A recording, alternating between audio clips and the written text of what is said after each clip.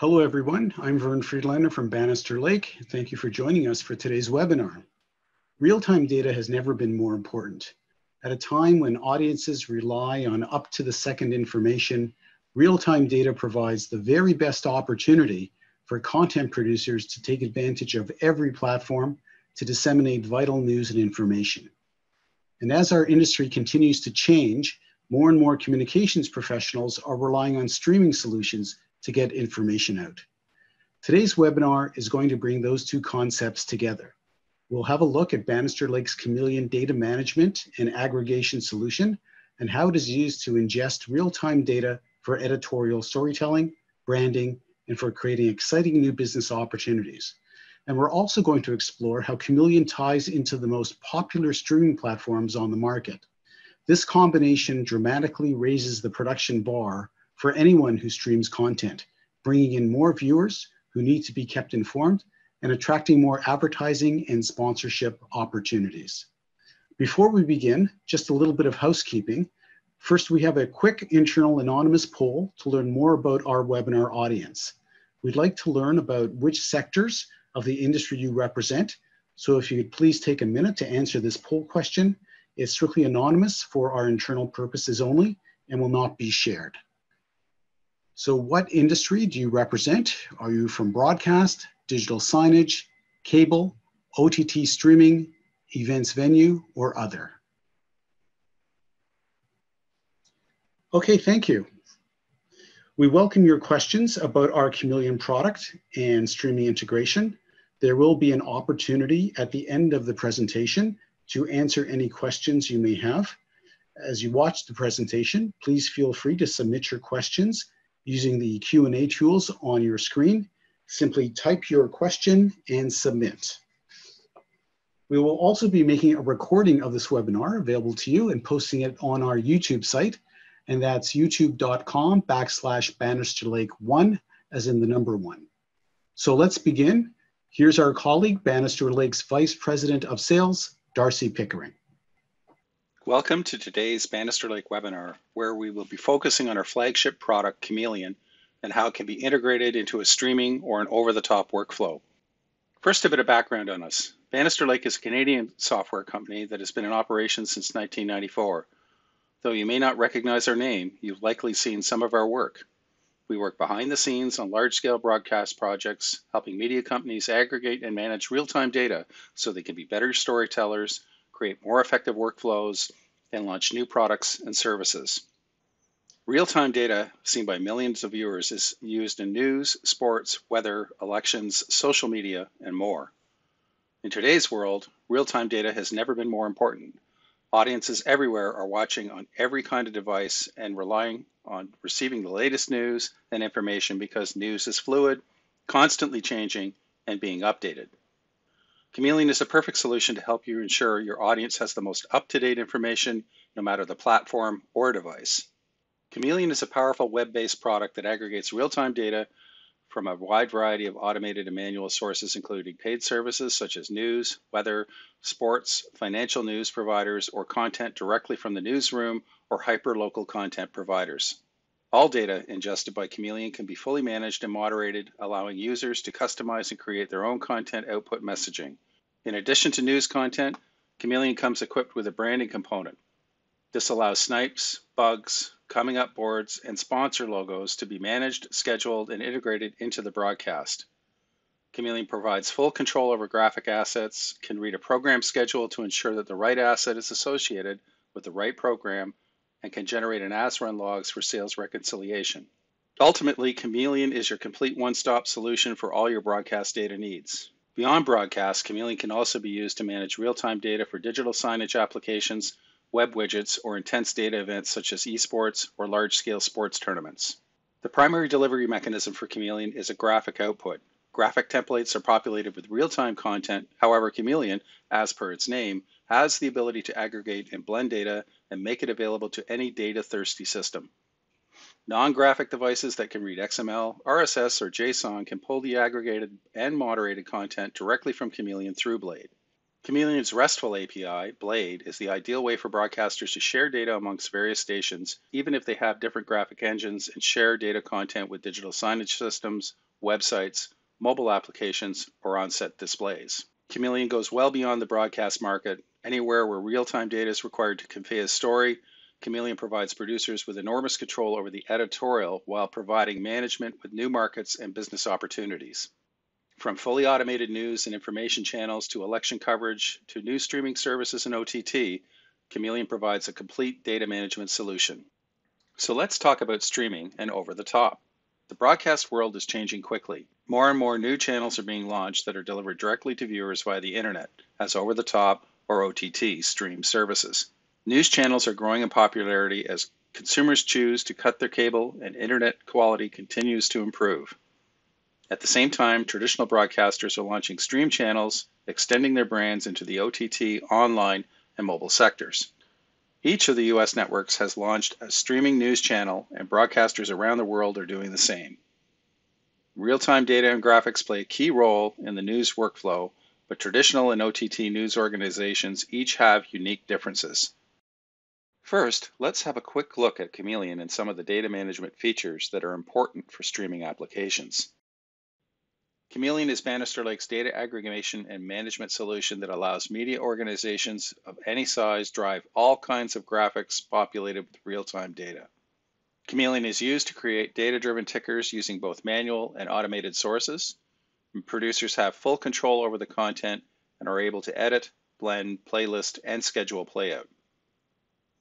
These could contain any data source and are used across the broadcast industry for news and information. Chameleon is also used for on-air branding. From coming up boards to snipes and promos, Chameleon provides an easy way to control, schedule, and manage branding content. The solution can leverage automation, read program schedules, and generate ASRun logs. Chameleon comes equipped with a powerful election solution. Producers can track and analyze election results, quickly create graphic playlists, and play them out to any endpoint. Chameleon can distribute election results for broadcast, social media, mobile applications, web pages, or on-set touchscreens or augmented reality systems. Chameleon also has a powerful graphic design tool called Designer that is used to create templates and associate real-time data to templates. Designer can be used to create a wide variety of graphics, including tickers, lower thirds, L bars, as well as complex election graphic templates. Chameleon has a robust RESTful API called Blade, which allows users to take data, reformat it into XML, JSON, or CSV, and redistribute it anywhere. It's a great way to create subsets of data and send it to different devices or destinations. Blade is an integral part of the Chameleon workflow and is used to launch new data-based services or make data available to digital signage systems, for example. Though both traditional broadcasters and OTT channels may share similar workflows when it comes to gathering data and share data management tools such as Bannister Lake's Chameleon, it is on the final output that they differ dramatically. A broadcaster would typically use SDI output to distribute their data. An OTT channel would use HTML5 since they're distributing online. Bannister Lake has developed an HTML5 web player for both tickers and elections to address the streaming and OTT market. Bannister Lake's Chameleon HTML5 web player provides similar functionality as a broadcast graphic engine, but is specifically designed for the web. Similarly, our Chameleon NDI player provides NDI output to NewTek TriCaster and applications using NDI. In this next section, we will show how to utilize the Chameleon web and NDI players to integrate with popular streaming solutions, OBS, vMix, Wirecast, and NDI. For this setup, we're using the Chameleon Cloud instance on AWS with the Chameleon Web and NDI players installed in a local workstation PC. So let's get started with setting up a player on the Chameleon web server. First, we'll go down to the Windows System tray, click Manage. The UI is launched. To create a new player, click File, New Instance, Name the instance. Now define your server by clicking Flow. Enter the coordinates or the URL for the instance that you're planning to use. In this case, it's our AWS instance. Enter the credentials. Click Apply. The connected icon will appear at the bottom. So you've successfully connected to the Chameleon Cloud server. Now we're going to click on server. We can define our channel, the show that we want to use, the project, and the rundown. The next step is to define the settings. You want to start the server and the channel on launch. You want to assign a port. In this case, we'll assign port 82. We'll use a secure port connection as well, so 443. And the endpoint for this one, we'll call it uh, the same name as the tab, Vision. For the project folder, we'll copy the settings from the other show, copy the project folder path, and paste that into your player project folder settings. You also want to assign a remote control. This will allow remote control and triggering from the Chameleon UI. We'll assign a unique port for it. We've set up the project folder, remote control settings, and start the server on launch. The last setting is the server we want to connect to the Chameleon Cloud instance to show our channel. We'll start the server, and now our server is running. So the next step is to preview our show. Uh, to do that, we go down to the bottom here. You'll see the server running, and you can see the endpoint for the channel that we've defined. So we'll copy that URL. We're going to paste that into a Chrome browser here on the Workstation PC. So we now have a web preview in Chrome of the channel that we've defined here. If we want to go back and check the settings for our other two channels, we can click on the corresponding tabs, esports, we can see it's running. Now that we have our three channels set up, we'll check our other shows as well by copying the endpoint for our esports, selecting a tab, hitting enter, pasting the URL in, go to our LRAP program, copy the endpoint for that as well. Select a new tab, copy and paste that endpoint in. And now we have the three channels all previewing on separate Chrome tabs. These are our three Chameleon web channels.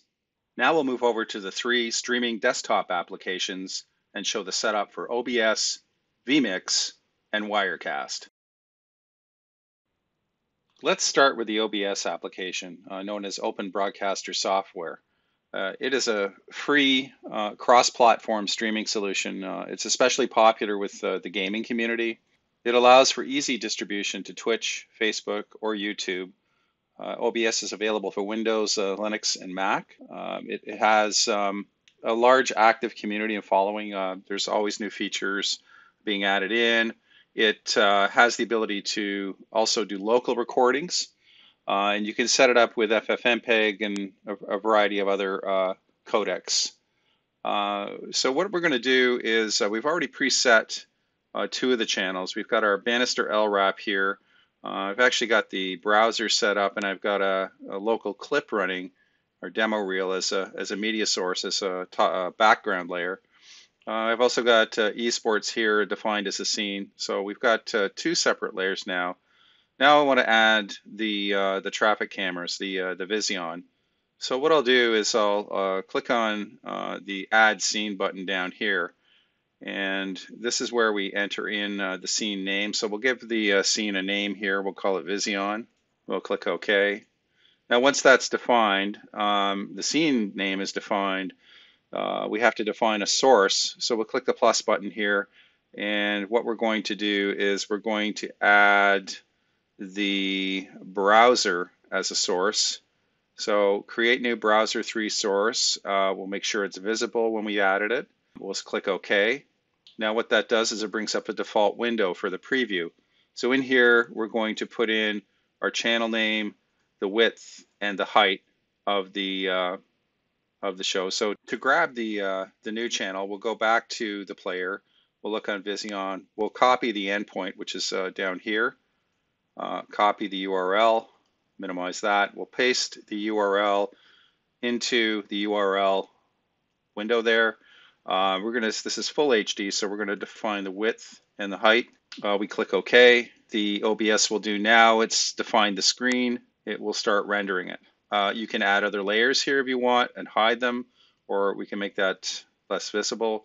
We want to keep them all on and we can toggle through just by selecting the scenes individually. So now we have our three channels, uh, the LRAP, the esports, and the Vision all defined within OBS. Once you defined all your sources, you can go into settings, you can start streaming uh, to a predefined service like Twitch or Facebook. There's a variety of the uh, streaming services and accounts you can stream to. Uh, or you can start recording locally. You can do both streaming and local recording concurrently with OBS.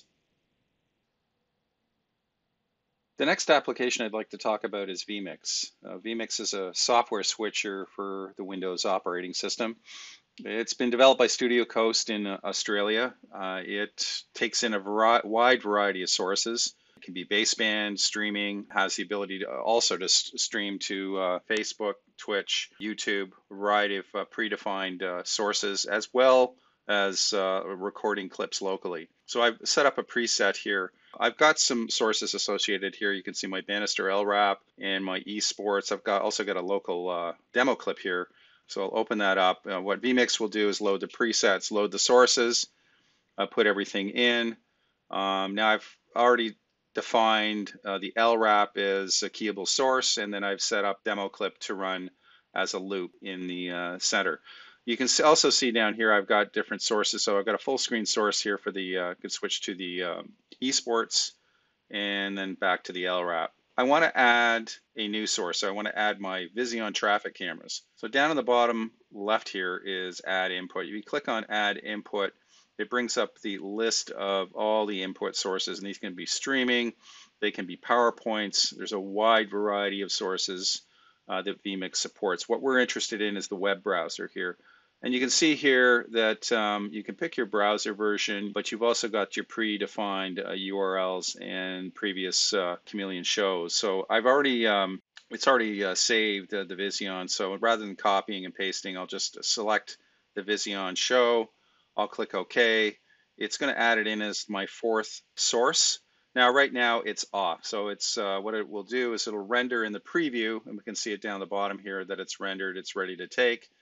And when we're ready to take it, it's just a matter with vMix to turn the input on and off. Now, these can be tied to the switcher or trigger it externally, but I'll just, for the purposes of demonstration, I'll just click on it. And if I want to look at the esports, I can click on that and I just pick that source. Or I would just want to go back to the uh, demo reel and go back to it. That's how you introduce the Chameleon shows into uh, the vMix platform. The next application uh, I'd like to talk about is uh, Telestream's Wirecast. Wirecast allows users to create live or on-demand broadcasts for the web. I'm going to open up a uh, preset uh, pro Wirecast project I've got here. Uh, so on the side here, you have your layers. Uh, the layers, again, can be any source. I've set up on the side two of the channels. So the LRAP channel, our demo reel, and the esports. I've got a clear layer here down the bottom. Uh, the plus sign here is where I add uh, in another layer here or another source. So I'll click on that. It provides a list of the inputs, available inputs. So what we're going to be looking for here is on the backgrounds, it says new web page.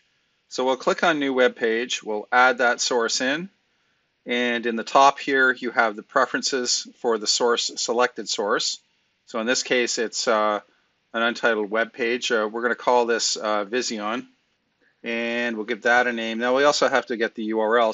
We'll go back to server here. We'll get the player URL, the endpoint. I'll paste that URL uh, in here for the address. Enter the width and the height. So again, this is HD. Uh, there's no other preferences we really have to set up. Uh, we can go back to the other preferences here, but the transition when it comes in, we're not using chroma key. There's no audio associated with this source. Shot layer properties, we'll leave that as a default, and then the shot layer. So we've got this as Vision, and we'll title this as the shot layer is Vision. So once that's done, we've now got the source down the bottom here. We'll double click on it. You may want to clear the other layers so we can preview our source. You can manually resize it using the uh, widget here or the uh, scaler. And now that's defined. So if we want that source off, we just clear that layer. Uh, we can add in the esports, our demo reel, show our LRAP. And that's how the Chameleon web player integrates with Wirecast. So now let's get started with uh, setting up the Chameleon NDI player. We'll go down to my system tray, right click, uh, select manage. This brings up the dialog. Uh, similar to the web player, you have the tabs for the instances and the channels you've set up. Uh, again, I've got my LRAP and my esports. Uh, you'll notice over here on the right, I have the NDI Studio Monitor window. And that's so that we can preview uh, the sources that as we generate them, and it'll just give us a confidence preview before we start distributing the NDI to our network. To get started here, we're going to add in a new instance. We're going to call this instance, again, Vision. That's our Vision channel. And then the first thing we're going to do is set up connection to the cloud server again. We'll enter in our username and password. We'll apply the setting. And again, we have connected. So we're connected to the cloud instance and we've set up the, the basic channel. Now we're going to go to uh, our settings and we're going to check to make sure that uh, our project folder path, the server preferences, and the NDI stream is set up. Uh, the first thing we're going to do is we're going to take the project path from the other channel. You share the same resources. So we'll put that in. We're also going to select the remote port for this. Now this is going to be slightly different. Uh, the remote control port for this one will be 84. Uh, we're going to start the server on launch. What that means is that uh, when the server uh, and the player launch, uh, it will automatically go out, retrieve the show and the rundown, and start playing the channel. Set a unique port number, and the endpoint, we'll keep this the same. We'll call this one Vision as well. And we also want the stream to start on launch. So that means that when the player starts, all the Vision and the other two channels will start streaming uh, out NDI. Now we'll go back to the player tab just to confirm everything. Click the start button. So to confirm everything's working on the NDI, we have to go down to stream here. We're going to make sure our stream settings, the stream name is set. So in this case, we're going to call this one Vision uh, Traffic Cameras. We'll give it a little longer name. Uh, we'll change the output format slightly. We're going to use 30p in this case. Uh, once the stream is started, you will see connections. The two connections you're seeing here are the key and fill being displayed on the studio monitor window. So we'll go over and check our source list here from the device. So there's our laptop. So our Vision traffic camera is now a selectable source now that it's started up. And I can toggle through and just verify all channels are working. Everything's good to go. We have three NDI sources and we've previewed them on our studio monitor. Now let's move over to the TriCaster. Now let's set up our three NDI channels as sources in the TriCaster. For the purpose of this demonstration, we are using the latest version of TriCaster's Advanced Edition 3. I already have two sources set up. We have the LRAP and the esports uh, set up as two inputs. We will add the third source by right-clicking in the new source window, selecting the laptop as the NDI source, and then the new NDI source, of Vision Traffic Cameras. The LRAP is set up as the downstream key. The esports and Vision traffic cameras are set up on two separate MEs. And that's how you select your Chameleon NDI sources in TriCaster.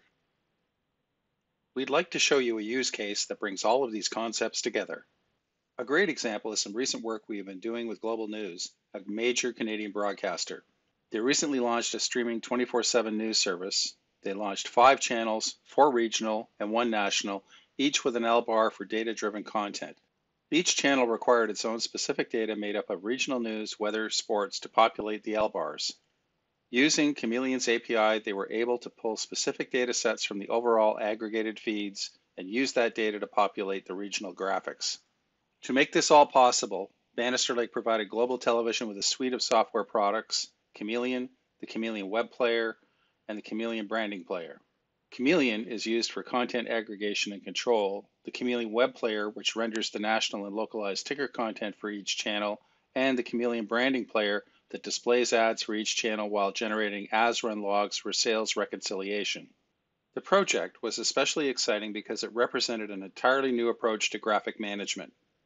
It was more efficient and cost effective to render HTML5 graphics for overlay in streams. Instead of rendering graphics using traditional broadcast graphic engines costing tens of thousands of dollars, rendering is performed by inexpensive Raspberry Pi computers. The media industry is changing very quickly, and Bannister Lake is responding to this change. The move towards streaming is accelerating, as is the popularity of virtual and cloud based solutions. We're addressing this growing market with our products such as our web and NDI players for both tickers and elections. We're very excited about the opportunities this opens for traditional broadcasters looking to extend their reach, for web based media organizations, and for venues, brands, and anyone online who wants to take advantage of real time data. You can learn more by visiting our website at bannisterlake.com. Okay, thank you, Darcy. Really uh, important, timely content as streaming becomes more popular and a great look at how Chameleon plays an important role in getting real-time data out to viewers. Uh, we have time for a few questions. Um, there's a couple here. So um, Darcy, with the election, uh, the US elections only a few months away, how can we use your product for putting out an election results stream? Uh, it's very easy, Vern. Um, the um, the Chameleon solution uh, has a, a, number of methods of uh, entering data, and you can enter election data manually. Uh, we also support um, uh, DDHQ and AP elections. Uh, you can actually mix and match. You can have AP uh, and um, and, and DDHQ and, and combine manual results. So it, it's very, very flexible, uh, allows a great de degree of flexibility in, in terms of uh, manual and automated entry of results. Great. Yeah, I'm sure there's a lot of uh, people out there who are interested in streaming out election results. So that's, uh, that's a really good question. Um, next question. Can you recommend the best workflow to use Chameleon data as part of a Twitch live stream? Yeah, um, so with the applications we just showed, actually all four uh, applications, so OBS, vMix, Wirecast, and the TriCaster all support um, direct connectivity with Twitch. So you can set up uh, your account um, and basically when you click the stream button, uh, it will automatically go out to a uh, predefined uh, either live stream or a scheduled event on Twitch. Okay, thanks, Darcy. Um, so I think we're about out of time. So I'd like to thank everybody for joining us today. Um, integration into streaming platforms is just one aspect of the Chameleon product and its ability to be a one-stop, all-encompassing real data, uh, real-time data solution. Real-time data has become an important part of visual storytelling across all platforms, and Chameleon provides a valuable opportunity for media businesses everywhere to get the most out of data feeds and integrate visualized data in new and exciting ways. We will be bringing you additional webinars in the near future, so please watch your email or follow us on social media for more details. And of course, if you have any questions or would like to request a personal demo, please feel free to contact us at info at bannisterlake.com. Thank you for joining us.